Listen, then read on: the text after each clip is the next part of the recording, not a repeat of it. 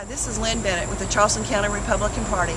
I'm here tonight supporting my friend Sean Pike, who is running against an entrenched liberal Democrat, Robert Brown, whose only goal is to save his supports the efforts of the Republican Party for transparency, limited government, and accountability, and we need to send him to the State House to help us achieve these goals. If you are interested in helping the Charleston County Republican Party, please contact us at www.charlestongop.org and get involved. We need you out there to help us win these seats.